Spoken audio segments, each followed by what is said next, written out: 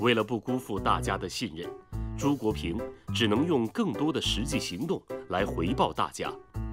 他向全社区居民公开电话号码，二十四小时开机。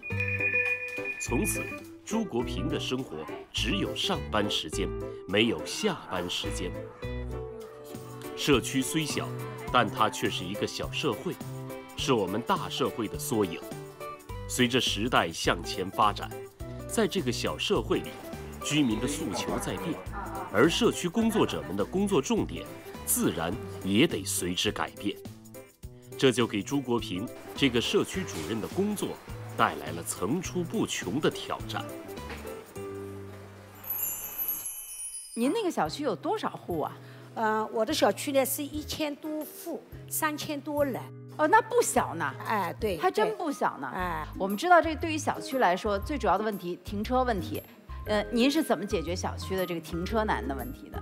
本来这么多年来，应该说我习惯了就文明小区嘛，大家做话已经养成了好邻居，对吧？好朋友，大家都啊为了一个车位，幺幺零也来了，就是大家因为抢是吧，抢没有地方车位停。抢车位，因为我们的阿姨到五点钟、四点钟了，他就不出去了，把个凳子抢在车位，坐到他儿子来。我看到这个阿姨说你太辛苦了，对吧？儿子万一晚一点呢，有应酬呢，对吧？他要坐到七点钟、八点钟，为了这个位置，根本我们边上的邻居就不开心了。以为明明这个位置我好停的，车还没来哎，呢，没来，你没来。了，到底来不来你也得停。他们会吵架，完了以后吵到你那儿吵是吗？吵，嗯有时候打幺幺零，幺幺零很忙，对吧？哎，本来缺车位的话，不是我这个居民区主任书记操心的，应该是物业，嗯，你完全不要操心，领导也没给我安排这个工作，但是我感觉到这是三千多人的都是我的居民，对吧？我说老百姓的事情，我们的居委会干部就是为老百姓办实事，够了，我首先就想办法拓宽车位。我这么几年来啊，搞了两百个车位啊。怎么搞出来的？小区不还那么大吗？对呀、对，小区有寸土寸金，有车的人要车位，无车的人就不会给你有车位。你要弄车位，就破坏我绿化。每个人都站在自己的角度上去对对对，我就想，有车的安全有一个车位，呃，没有车的就把你的绿化弄得漂亮一点。我在这个小区里，就是开一个车位就搞一个景观，搞了我现在到我小区里十大景观。你你有了车位，你就意味着就把那个要绿化的那块儿就废掉了嘛，就没法绿化了。你怎么绿化呢？屋顶绿化，这是我的车棚。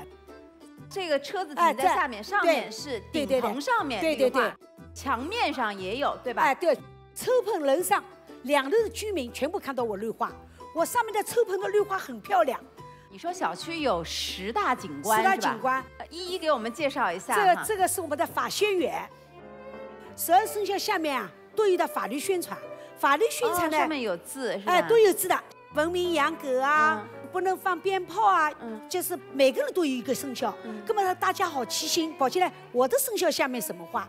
全家五个人，五个生肖，五个法律都记好了，哦哎，就下家人走这一趟，五条都看明白了。哎，过了就大家呢在小区里的花园走走看看，这顺便呢就是法律宣传。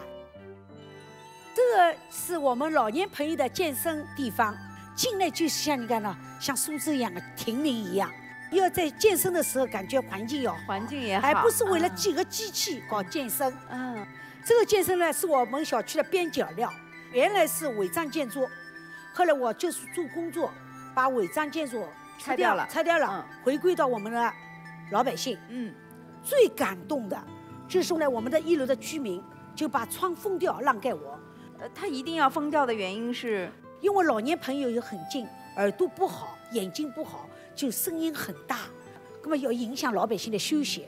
搞了好多老百姓有也有的意见啊。我这当中的话，我每次的工程就在老百姓周边，就是隔了一个墙，就在人家窗口底下在搞。假如我这个居民不同意的话，我再热情，再想想去做也做不好。哇，这个很漂亮哎。这是儿童乐园这，是儿童乐园，哎小朋友玩的地方。对，对对，商品房现在有的儿童乐园，我们老小区肯定没有儿童乐园。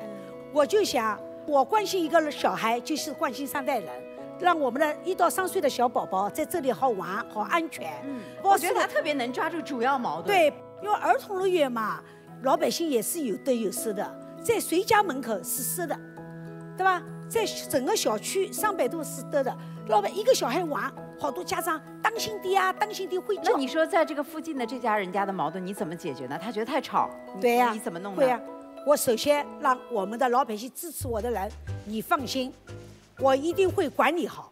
首先，我志愿者二十四小时弄干净的。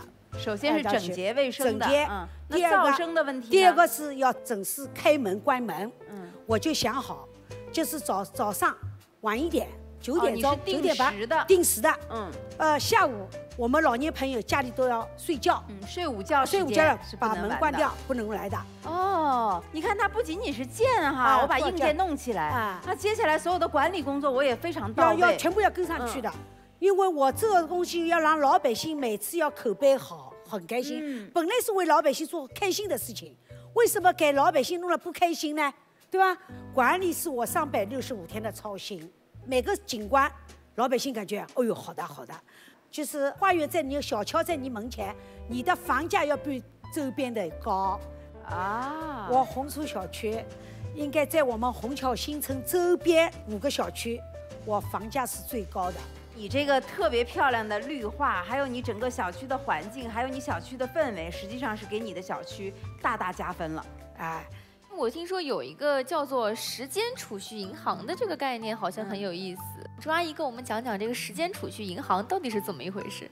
当时的话是九六年、九七年嘛，大批的下岗工人回来了，大家呢是小孩都在读书，一个呢我要解决再就业岗位，第二个呢我要帮助这个小孩不掉队。我们红树小区有三十二位园丁老师，我说你就为我们三十个小孩补补课，就叫我下岗妇女给你烧饭，就把时间来交换。就是说我用时间来交换你你你教孩子的这这部分费用，是对吧？就这个概念。对，现在我我我们小区这有八百个志愿者，他们有五个公开，姓名公开，他们单位公开，哎，学历公开，家里的门牌号要公开，哎，不管自己好看难看要贴个照片，哦，你看，比如说那个计算机学院的教授，他就可以为计算机爱好者和初学者提供帮助。这有一个呃外科医生他他可以帮你诊疗，对对，现在的境境界就不用时间交换了，就是我为你提供一些帮助，对。我我愿意，交不交换无所谓，不用像原来那样，我一定要用等价的时间怎么样去交换，对对对。不需要了。现在整个小区当时都朋友了，我们今天现场哈、有这个他所在小区的几位居民，我们也请到了，我们来听听他们是怎么评价这位朱阿姨的。我是叫她就是当姐姐一样，哦，因为我弟弟经常要犯病的嘛，因为特殊病人嘛。然后他呢，就是很耐心的倾听，跟他交朋友，给他联系医院。像这种情况，我们小区很多很多了，都是得到他帮助的。呃，谢谢您哈。旁边那位也是，我也是小区居民，我老公的眼睛呢是不好的，他是沙漠失明的。朱国平嘛，经常到我家里来访问，做了那个楼道里面的扶手，安装了这个电灯，所以我很感激他。我也自愿出来呢，当了十几年的楼组长，志愿者，也为他做点事情，也对他的感恩。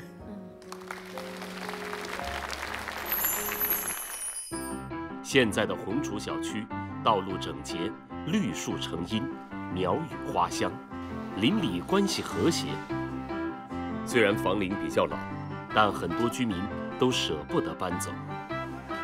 随着时代变迁，居民的生活水平不断提高，社区治理也出现了一些新热点、新任务，而朱国平总能迎难而上，在第一时间想出解决办法。呃，我问一个，就现在好多小区都有这个养狗的问题，就会发生很多矛盾。您那儿遇到过吗？有，就是老百姓提意见啊。嗯，狗在楼道里在叫，狗放在外面不文明，有的大的狗大家很害怕，嗯，那么我就呢就想好叫我们区委干部全部到每栋楼登记一下，那么登记出来四十四条狗。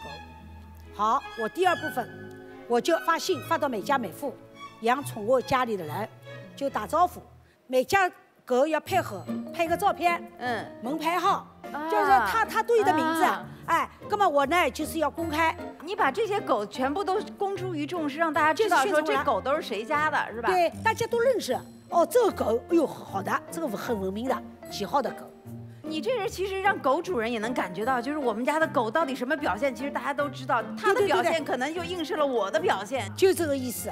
因为我讲话狗是听不懂的，对吧？也没办法管狗哎哎哎他才所以懂不的。我再着急，他他不会理解的。嗯但我着急要叫它的主人来理解。那么现在大家都关注了，二楼、三楼、楼下就看好这条狗，这家的主人是文明的，这个狗肯定是文明的。嗯嗯，这家主人本身就不文明的，垃圾从前前面抛下来的，这个狗肯定是不文明的。我就开居民代表大会，就明说的，大家就冒好，就大家人家不文明的，这只狗就管了你。上海话出来了。哎，哎大家先微信我嘛。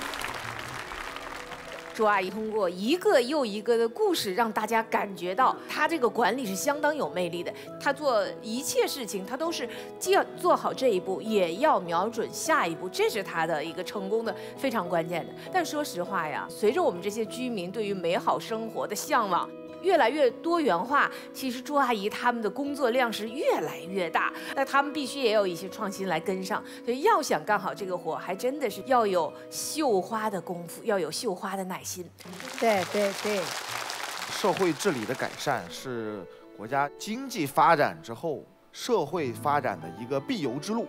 你像近些年来，其实我们国家从顶层设计上不断的有这个相关的政策法规来支持这样的这种社区治理的改善。比如说一七年的时候，就有这个加强和完善城乡社区治理的意见，它是中共中央和国务院一起发的。它实际上对我们的这个社区治理的法治化、科学化、精细化、组织化，它做了这个就是顶层设计式的要求。而在这个十九大之后，那么我们对于社区治理的共治、共享、共建这样的一个这种概念，又给基层社区治理注入了活力。那么在各地方为了配套这个相关的这个地社区治理，那么给钱、给人、给政策。依然在鼓励年轻化的、知识化的干部进入到基层治理的队伍当中，因为社会的不断的发展，社会问题出现的问题变得纷繁无杂，那么没有我们说法治化、科学化、经济化、组织化的手段，社区工作做不好。因为只有让社会稳定了，生活幸福感增加了，获得感增强了，才有可能支持我们的这个经济更进一步的发展，国力更进一步的提升。